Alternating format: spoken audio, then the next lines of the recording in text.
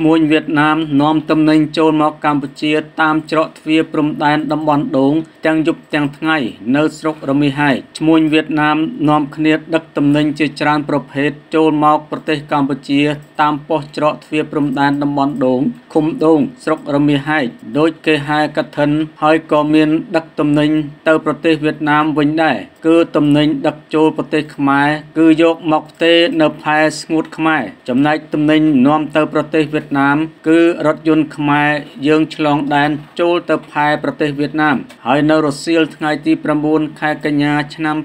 2024នេះគឺមានរថយន្តវៀតណាម ដឹកទំនិញចូលមកផ្ទេរនៅក្នុងផែជិតព្រំដែនដូងជាច្រើនគ្រឿងក៏ប៉ុន្តែមិនដឹងថាជាទំនិញអ្វីទេ ចំណែកទំនិញខាងខ្មែរយើងក៏មានដឹកចេញទៅប្រទេសវៀតណាមវិញដែរនេះបើតាមមន្ត្រីសមត្ថកិច្ចបង្ហើបឲ្យសារព័ត៌មានយើងបានដឹងប្រភពដដបន្តទៀតថាទំនិញដែលនាំចូលមកពីប្រទេសវៀតណាមតាមប៉ុស្តិ៍ច្រកទ្វារព្រំដែនតំបន់ដូងរួមមានខ្ទឹមស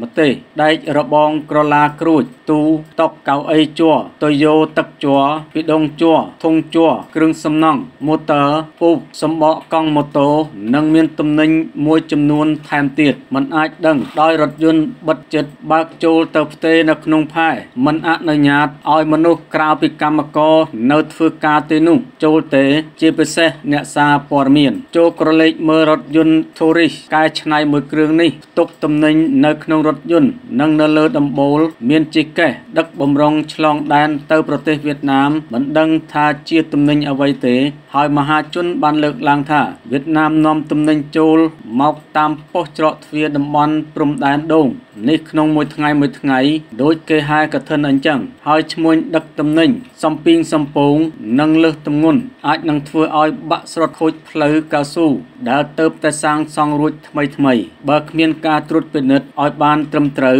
ហើយនៅពេលយប់ក៏មានដឹកទំនិញចេញចូលច្រើនដែរមិនដឹងថាជាទំនិញអ្វីទេ ចំណែកក្រុមអាជីវករខ្មែរវិញបានលើកឡើងថា មានមន្ត្រីគយដាក់ប៉ុស្តិ៍បងពុនបណ្ដាក់គ្នាដូចខ្យងមានប៉ុស្តិ៍នគរបាលវរៈការពារព្រំដែននៃច្រកទ្វារតំបន់ព្រំដែនដូង ប៉ុស្តិ៍ការិយាល័យគយនិងរដ្ឋកោខេត្តប្រចាំច្រកទ្វារតំបន់ព្រំដែនដូងនិងប៉ុស្តិ៍គយចល័តមានបងពុនហើយ មានទាបងថ្លៃបាយថ្លៃកាហ្វេទៀតគឺរាប់ក្បាលរថយន្តយកលុយតែម្ដងរមាក់កែច្នៃ50000រៀលរថយន្តធូរីសកែច្នៃគោយន្តកែច្នៃ100,000រៀលរថយន្តធុនធំ200,000រៀលទៅ300,000រៀលសូមអភិបាលខេត្តមេត្តាជួយមើលផងទៀនតេតិនករណីនេះដែរមិនអាចសុំការបំភ្លឺពីលោកនៃប៉ុស្តិ៍នគរបាលច្រកទ្វារព្រំដែនដូងបានទេ ដោយមន្ត្រីប្រចាំការនៅប៉ុស្តិ៍ច្រកទ្វារប្រាប់ថាមេមិននៅ ចំណែកលោកឆេងសាវិនប្រធានការិយាល័យគយនិងរដ្ឋកោ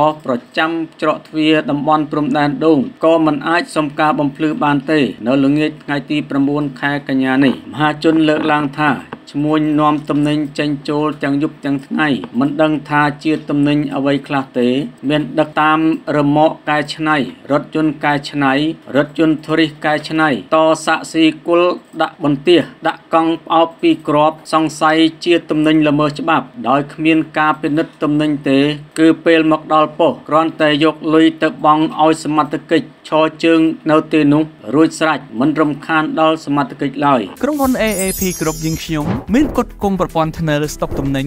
ឡានលើកទំនិញកំណរជួរកន្ត្រកជួរប្រទេសអូទំនិញធ្នើម៉ាតប្រទេសអូទំនិញក្នុងម៉ាតត្រង់សំណាញ់ជញ្ជីងថ្លើងរថយន្ត